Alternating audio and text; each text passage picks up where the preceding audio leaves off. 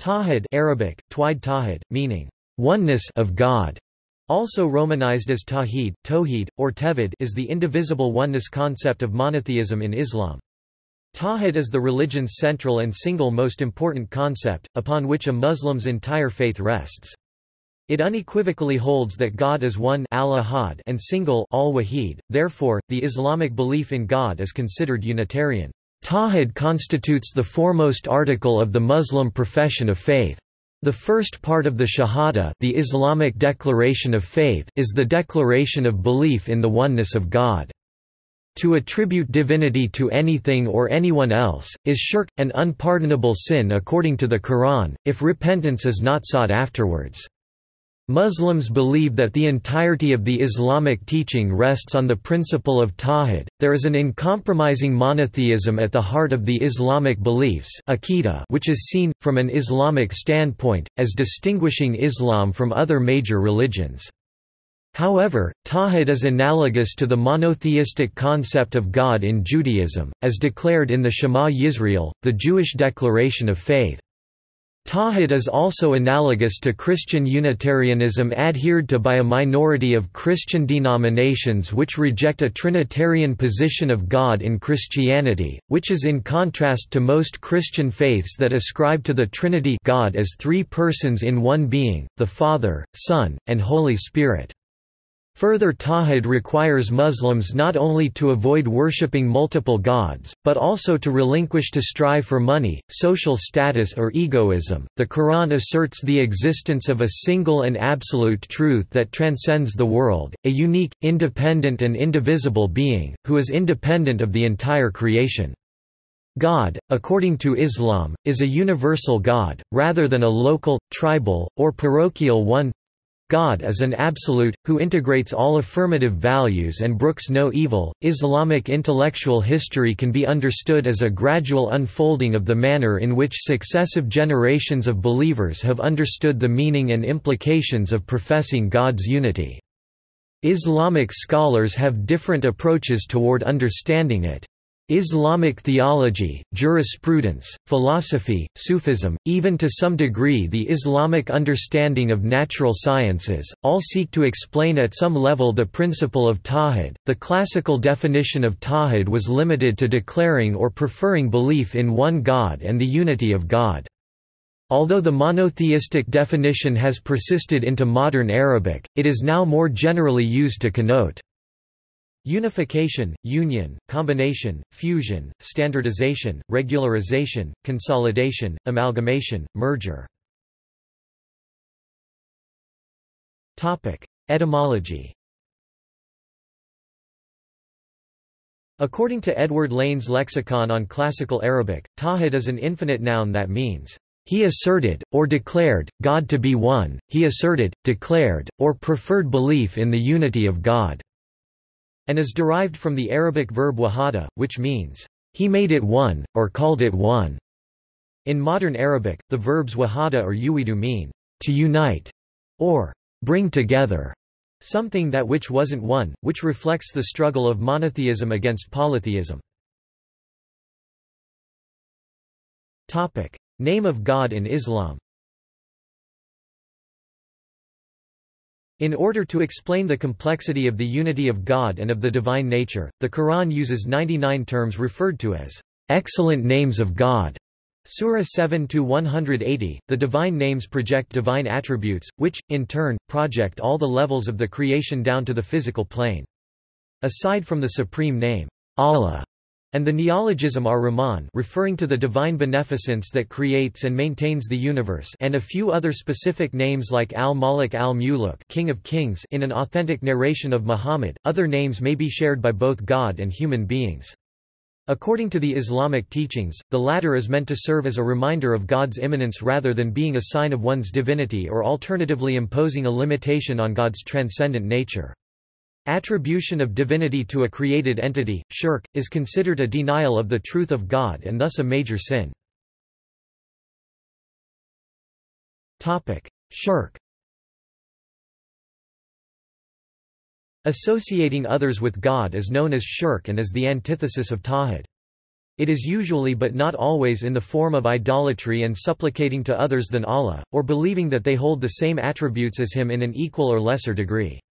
Shirk is divided into two categories Greater shirk, shirk al-akbar, open and apparent Lesser shirk, shirk al-asghar, concealed or hidden. Greater shirk consists of the above-mentioned deeds.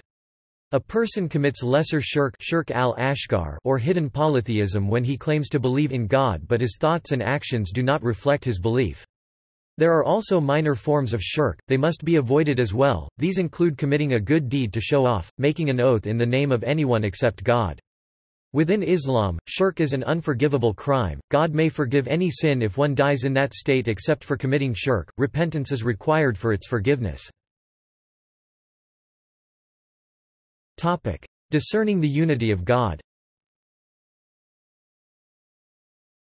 According to Hossein Nasr, Ali, the first Imam Shia view and fourth Rashid Caliph Sunni view, is credited with having established Islamic theology.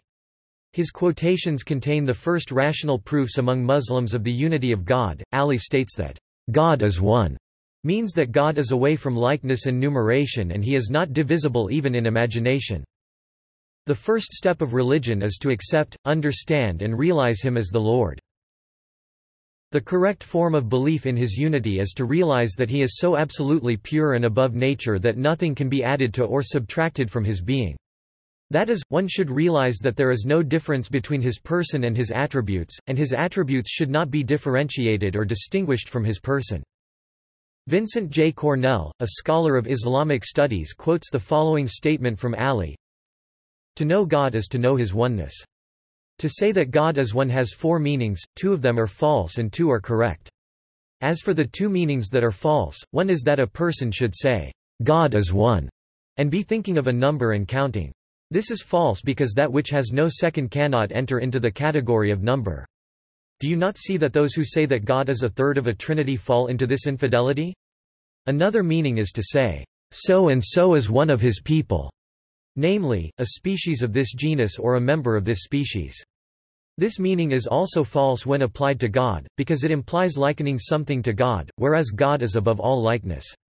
As to the two meanings that are correct when applied to God, one is that it should be said that, God is one, in the sense that there is no likeness to him among things.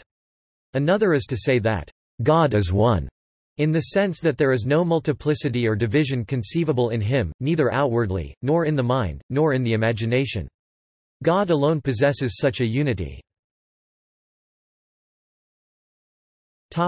Arguments for the oneness of God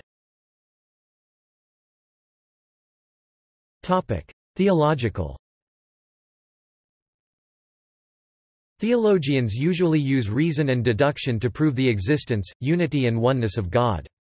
They use a teleological argument for the existence of God as a creator based on perceived evidence of order, purpose, design, or direction—or some combination of these—in nature. Teleology is the supposition that there is a purpose or directive principle in the works and processes of nature. Another argument which is used frequently by theologians is reductio ad absurdum. They use it instead of positive arguments as a more efficient way to reject the ideas of opponents. God is the cause of causes Against the polytheism of pre-Islamic Arabia, the Quran argues that the knowledge of God as the creator of everything rules out the possibility of lesser gods since these beings must be themselves created. For the Quran, God is an immanent and transcendent deity who actively creates, maintains and destroys the universe. The reality of God as the ultimate cause of things is the belief that God is veiled from human understanding because of the secondary causes and contingent realities of things in the world. Thus the belief in the oneness of God is equated in the Quran with the belief in the unseen.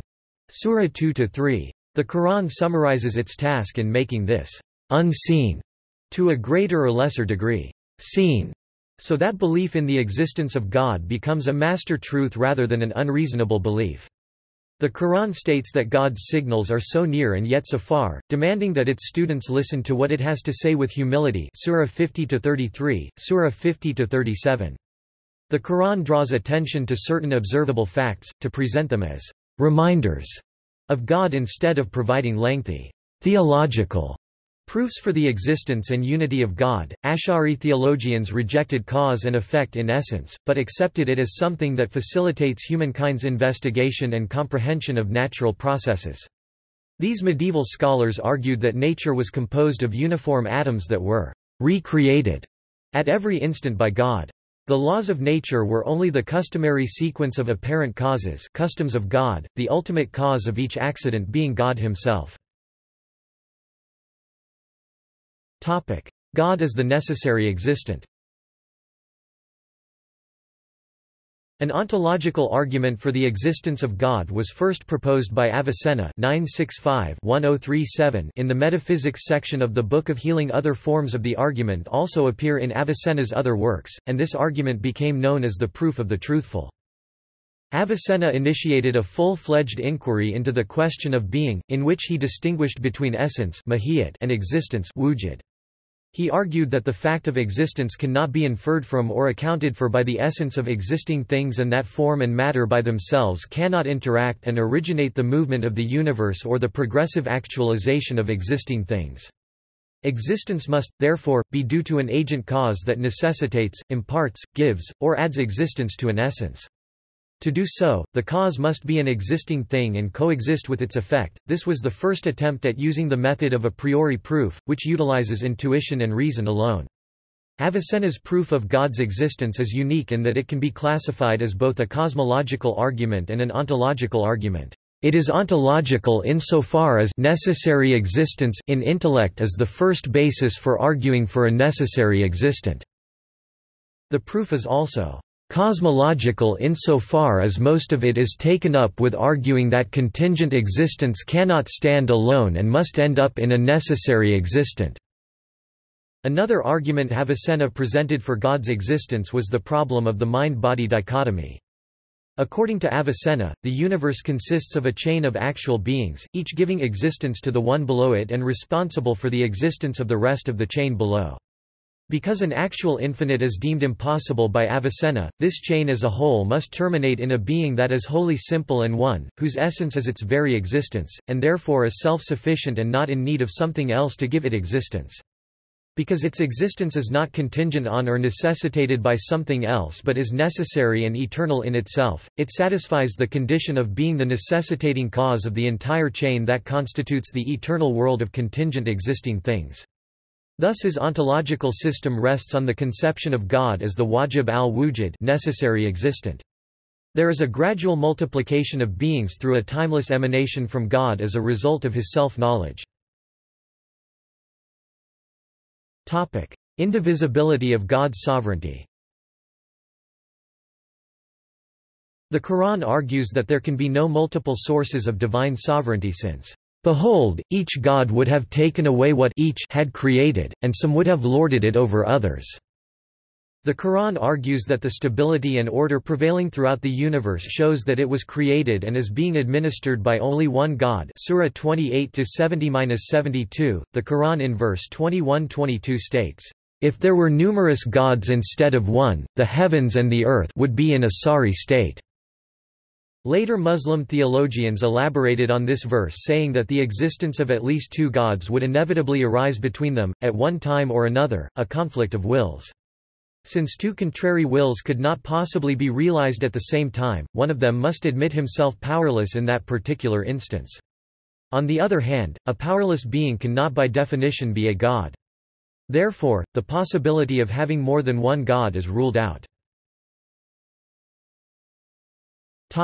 Other arguments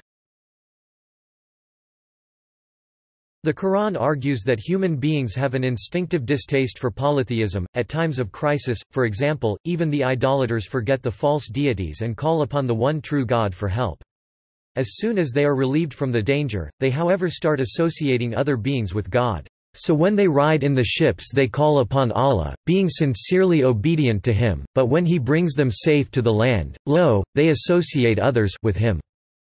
Surah 29-65. Next, the Quran argues that polytheism takes away from human dignity. God has honored human beings and given them charge of the physical world, and yet they disgrace their position in the world by worshipping what they carve out with their own hands. Lastly, the Quran argues that monotheism is not a later discovery made by the human race, but rather there is the combined evidence of the prophetic call for monotheism throughout human history starting from Adam. The Quran suggests several causes for deviation from monotheism to polytheism. Great temporal power, regarded by the holder and his subjects as absolute, may lead the holder to think that he is godlike. Such claims were commonly forced upon, and accepted by, those who were subject to the ruler. Also, certain natural phenomena such as the sun, the moon and the stars inspire feelings of awe, wonder or admiration that could lead some to regard these celestial bodies as deities. Another reason for deviation from monotheism is when one becomes a slave to his or her base desires and passions. In seeking to always satisfy the desires, he or she may commit a kind of polytheism. Interpretations Understanding of the meaning of Tawhid is one of the most controversial issues among Muslims. Islamic scholars have different approaches toward understanding it, comprising textualistic approach, theological approach, philosophical approach and Sufism and Irfani approach. These different approaches lead to different and in some cases opposite understanding of the issue. Textualistic approach The textualists by reason of their conception of the divine attributes, came to represent the divinity as a complex of names and qualifications alongside the divine essence itself. The Athari methodology of textual interpretation is to avoid delving into extensive theological speculation. With regard to their belief in Tawhid al-Asma was sifat, or belief in the oneness of the names and the attributes of Allah, they take a stance of affirmation of all the divine names and attributes of Allah in a manner that suits His Majesty, as mentioned in the Quran and the Sunnah. This tenet is further divided into four aspects regarding the affirmation that it is without tashbih establishing likeness, takyif speculating as to how they are manifested in the divine, ta'til negating, denying their apparent meaning and ta'wil giving it secondary, symbolic meaning which is different from the apparent meaning. This is strongly opposed to the extremes of either speculative philosophy as was warned against by the Imams of the Salaf, chiefly Imam al-Shafi'i and Imam Ahmad ibn Hanbal, or of anthropomorphism which was strongly refuted by Sheikh ibn Taymiyyah in his monumental al-Aqidat al-Wasitiyah who defined the Aqidah or creed of the Salaf to be the balanced middle path far from the extremities of the various sects prevalent in the Muslim world. This is generally summed and codified into the Athari school of theology. Topic: Theological viewpoints. Certain theologians use the term tawhid in a much broader meaning to denote the totality of discussion of God, his existence and his various attributes. Others go yet further and use the term to ultimately represent the totality of the principles of religion. In its current usage, the expressions tawhid or knowledge of tawhid are sometimes used as an equivalent for the whole kalam, the Islamic theology. According to Sunni Islam, the orthodox understanding of theology is taken directly from the teachings of Muhammad with the understanding and methodology of his companions, sourced directly from the revealed scripture the Quran, being the main information source for understanding the oneness of God in Islam. All Muslim authorities maintain that a true understanding of God is impossible unless he introduces himself due to the fact that God is beyond the range of human vision and senses. Therefore, God tells people who he is by speaking through the prophets. According to this view, the fundamental message of all of the prophets is, "...there is no God but God." Mutazili school The Mutazilis like to call themselves the men of the Tawhid al -Tawhid. In Maqalat al-Islamiyan, Abu al-Hasan al-Ash'ari describes the Mutazilite conception of the Tawhid as follows God is unique, nothing is like him, he is neither body, nor individual, nor substance, nor accident. He is beyond time. He cannot dwell in a place or within a being, he is not the object of any creatural attribute or qualification. He is neither conditioned nor determined, neither engendered nor engendering. He is beyond the perception of the senses. The eyes cannot see him, observation cannot attain him, the imagination cannot comprehend him. He is a thing, but he is not like other things, he is omniscient, all-powerful, but his omniscience and his almightiness cannot be compared to anything created. He created the world without any pre-established archetype and without an auxiliary. According to Henry Corbin, the result of this interpretation is the negation of the divine attributes, the affirmation of the created Quran, and the denial of all possibility of the vision of God in the world beyond. Mutazilis believed that God is deprived of all positive attributes, in the sense that all divine qualifications must be understood as being the essence itself, and declaring that God is existing ubiquitously and in everything. They resorted to metaphorical interpretations of Quranic verses or prophetic reports with seemingly anthropomorphic content, e.g., the hand is the metaphorical designation of power, the face signifies the essence, the fact that God is seated on the throne is a metaphorical image of the divine reign, and so on. Ash'ari school The solution proposed by Abu al-Hasan al-Ash'ari to solve the problems of tashbih and ta'til concedes that the divine being possesses in a real sense the attributes and names mentioned in the Quran. Insofar as these names and attributes have a positive reality, they are distinct from the essence, but nevertheless they do not have either existence or reality apart from it. The inspiration of al-Ash'ari in this matter was on the one hand to distinguish essence and attribute as concepts, and on the other hand to see that the duality between essence and attribute should be situated not on the quantitative but on the qualitative level something which Mutazilis thinking had failed to grasp. Ash'ari theology, which dominated Sunni Islam from the 10th to the 19th century, insists on ultimate divine transcendence and holds that divine unity is not accessible to human reason. Ash'arism teaches that human knowledge regarding it is limited to what was has been revealed through the prophets, and on such questions as God's creation of evil and the apparent anthropomorphism of God's attributes, revelation has to accepted bila kaifa without asking how. Twelvers theology Twelver's theology is based on the hadith which have been narrated from the Islamic prophet Muhammad, the first, fifth, sixth, seventh and eighth imams and compiled by Shia scholars such as al-Shaykh al-Saduq and al-Tawhid. According to Shia theologians, the attributes and names of God have no independent and hypostatic existence apart from the being and essence of God. Any suggestion of these attributes and names being conceived of as separate is thought to entail polytheism. It would be even incorrect to say God knows by his knowledge which is in his essence but God knows by his knowledge which is his essence. Also God has no physical form and he is insensible. Twelvers believe God is alone in being, along with his names, his attributes, his actions, his theophanies. The totality of being therefore is he, through him, comes from him, and returns to him. God is not a being next to or above other beings, his creatures, he is being, the absolute act of being wujud mutlaq. For, if there were being other than he i.e., creatural being, God would no longer be the unique, i.e., the only one to be. As this divine essence is infinite, his qualities are the same as his essence, essentially there is one reality which is one and indivisible. The border between theoretical tawhid and shirk is to know that every reality and being in its essence, attributes and action are from him from him ness, it is tawhid. Every supernatural action of the prophets is by God's permission as Quran points to it. The border between the tawhid and shirk in practice is to assume something as an end in itself, independent from God, not as a road to God to himness. Topic: Philosophical viewpoints. Al-Farabi, al-Razi and especially Avicenna put forward an interpretation of Tawhid in light of reason, with the Quran and Hadith serving as a basis.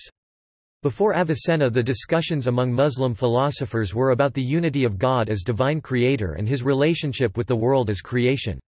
The earlier philosophers were profoundly affected by the emphasis of Plotinus on divine simplicity. Whether this view can be reconciled with Islam, particularly given the question of what role is left for God's will, was to become a subject of considerable controversy within intellectual Islamic discourse. Sufi and Irfani viewpoint In Islamic mysticism Sufism and Irfan, Tawhid is not only the affirmation in speech of God's unity, but also as importantly a practical and existential realization of that unity. This is done by rejecting the concepts tied to the world of multiplicity, to isolate the eternal from the temporal in a practical way. The ideal is a radical purification from all worldliness. According to Vincent J. Cornell, it is possible to draw up a monist image of God see Sufi metaphysics by describing the reality as a unified whole, with God being a single concept that would describe or ascribe all existing things. He is the first and the last, the evident and the immanent, and he has full knowledge of all things. Surah 57-3. However many Muslims criticize monism for it blurs the distinction between the creator and the creature, something incompatibility with the genuine and absolute monotheism of Islam. For Muslim mystics Sufis, the affirmation in speech of God's unity is only the first step of Tawhid. Further steps involve a spiritual experience for the existential realization of that unity. Categorizations of different steps of Tawhid could be found in the works of Muslims Sufis like Junaid Baghdadi and al-Ghazali. It involves a practical rejection of the concepts tied to the world of multiplicity. Al-Junaid for example, distinguishes four steps, starting from the simple attestation of unicity which is sufficient for ordinary believers, and culminating in the highest rank reserved for the elite, when the creature totally ceases to exist before his Lord, thus achieving al-fana fi al-tawhid annihilation in unity. Annihilation and subsistence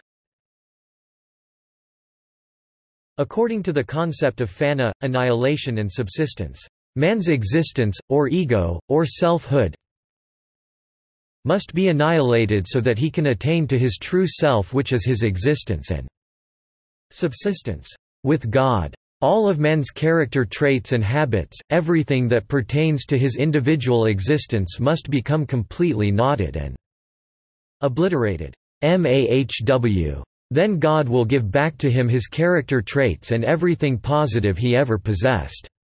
But at this stage, he will know consciously and actually, not just theoretically, and with a through spiritual realization, that everything he is derives absolutely from God. He is nothing but a ray of God's attributes manifesting the hidden treasure. Unity of existence The first detailed formulation of unity of existence Wahdat al-Wujud is closely associated to Ibn Arabi. Widely different interpretations of the meaning of the unity of existence have been proposed throughout the centuries by critics, defenders, and Western scholars. Ibn Arabi himself didn't use the term unity of existence, and similar statements had been made by those before him. For example, according to al-Ghazali, there is nothing in wujud existence except God, Wujud existence only belongs to the real one. Ghazali explains that the fruit of spiritual ascent of the Sufi is to witness that there is no existence in the world save God and that all things are perishing except his face Quran 28 Many authors consider being or existence to be the proper designation for the reality of God.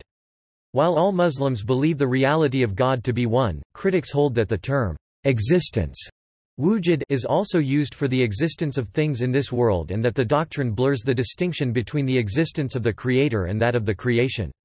Defenders argued that Ibn Arabi and his followers are offering a subtle metaphysics following the line of the Asharite formula. The attributes are neither God nor other than God. Gods, signs, ayat and traces, athar, the creatures, are neither the same as God nor different from him, because God must be understood as both absent and present, both transcendent and immanent. Understood correctly, Wahdat al-Wujud elucidates the delicate balance that needs to be maintained between these two perspectives. Shah Wali Allah of Delhi argued that the Ibn Arabi's unity of being was experiential and based on a subjective experience of illumination or ecstasy, rather than an ontological reality. Influences on the Muslim culture The Islamic doctrine of Tawhid puts forth a God whose rule, will or law are comprehensive and extend to all creatures and to all aspects of the human life. Early Muslims understood religion to thus cover the domains of state, law and society. It is believed that the entirety of the Islamic teaching rests on the principle of tawhid. In the following, we provide a few examples of the influences of tawhid on the Muslim culture. Topic. Interpersonal relationship According to the Quran, one consequence of properly conceived relationship between God and man as the served and servant, is the proper relationship among humans. In order to achieve the former, the Quran consistently reminds men of two points, one, that God is one, everything except God including the entirety of nature is contingent upon God, too. With all his might and glory, God is essentially the all-merciful God. Good and evil According to the Quran, Allah is the progenitor of all things, both good and evil. As is written in the Quran, all of humanity is created at the will of Allah, both the good and the evil, and that their natures have been predisposed as such since the beginning of creation. According to the Quran, Satan deviated from the oneness of Allah in the story of creation of man by permitting his own hierarchical value system to supersede Allah's will. Allah asked the angels to bow to Adam, who he had created from clay. Satan refused, saying that, I am better than him, you created me from fire and created him from clay. The medieval Muslim scholar, al-Ghazali pointing out that the only legitimate preference principle in the sight of Allah is piety, writes, every time a rich man believes that he is better than a poor one, or a white man believes that he is better than a black one, then he is being arrogant. He is adopting the same hierarchical principles adopted by Iblis Satan in his jahl ignorance, and thus falling into shirk opposite of tawhid. Topic secularism In many jurisdictions of the world, the laws and the general attitude of the population hold that the sphere of public life should be secular, and that belief in and practice of religion should remain in the sphere of private life. One motive for adopting this stance has been to reduce the effects of conflict between followers of different religions or between adherents of secularism and those of a religion. In public life, this view insists that the authority of the state prevails over any religious authorities. For some Islamic thinkers, these propositions infringe the doctrine of Tawhid, and are therefore anathema. If the cosmos is a unified and harmonious whole, centered around the omnipotent and omnipresent God, they hold that recognizing any other authority as superior is wrong. According to one writer, traditionally, a Muslim is not a nationalist, or citizen of a nation-state, he has no political identity, only a religious membership in the Ummah. For a traditional Muslim, Islam is the sole and sufficient identification tag and nationalism and nation-states are obstacles. Hence the idea of creating a holy Islamic state, or a revived caliphate. In practice, nearly all Muslims live their daily lives under some national jurisdiction and accept at least part of the constraints this involves. Topic Islamic art The desire to preserve the unity and transcendence of God led to the prohibition of Muslims from creating representation or visual depictions of God, or of any prophet including Muhammad. Representations in art of the human form are a disputed matter in fiqh. The key concern is that the use of statues or images may lead to idolatry.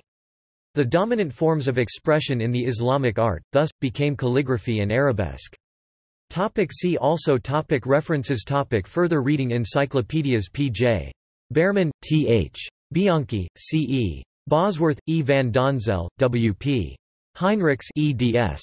Encyclopedia of Islam Online. Brill Academic Publishers. ISSN 1573-3912. Richard C. Martin, Said Amir Arjomand, Marcia Hermansen, Abdulkader Tayob, Rochelle Davis, John Obert Voll, eds. 2003. Encyclopedia of Islam and the Muslim World. Macmillan Reference Books. ISBN 978-0-02-865603-8. Lindsay Jones, ed. 2005. Encyclopedia of Religion 2nd ed. Macmillan Reference Books. ISBN 978-0-02-865733-2. Encyclopædia Britannica Online. Encyclopædia Britannica, Inc. Encyclopædia Islamica, Books Banani Amin, co-ed, Richard G. Hovannisian, Georges Sabagh 1994, Poetry and Mysticism in Islam, The Heritage of Rumi, Cambridge University Press, ISBN 0-521-45476-X Barlas, ASMA 2002. Believing Women in Islam. University of Texas Press. ISBN 0-292-70904-8. Corbin, Henry 1993. History of Islamic Philosophy. Translated by Liadain Sherrard, Philip Sherrard. London, Kegan Paul International in association with Islamic Publications for the Institute of Ismaili Studies. ISBN 0-7103-0416-1. William Chittick 1983, The Sufi Path of Love, The Spiritual Teachings of Rumi, State University of New York Press, ISBN 0-87395-724-5 William Chittick and Sachiko Murata 2006, The Vision of Islam, Publisher, I.B. Tauris, ISBN 1-84511-320-9 Ernst, Carl 1984, Words of Ecstasy in Sufism, State University of New York Press, ISBN 0-87395-918-3 Esposito, John 1998. Islam, The Straight Path. Oxford University Press. ISBN 0-19-511233-4. Gottlieb, Roger S. 2006, The Oxford Handbook of Religion and Ecology, Oxford University Press, ASIN B000RKTUVS Johnson, Steve A. 1984, Ibn Sina's Fourth Ontological Argument for God's Existence, The Muslim World 74, 3–4, 161–171. Kochler, Hans 1982. The Concept of Monotheism in Islam and Christianity. Braumüller. ISBN 3-7003-0339-4. Mehmet, Ozay 1990, Islamic Identity and Development, Studies of the Islamic Periphery, Routledge, ASIN, B000FBFF5Y Momen, Moojan 1985. An Introduction to Shi-I Islam, The History and Doctrines of Twelver Shi'ism. Yale University Press. ISBN 0-300-03531-4. Nasr, Seyyed Hossein, William Chittick 2007.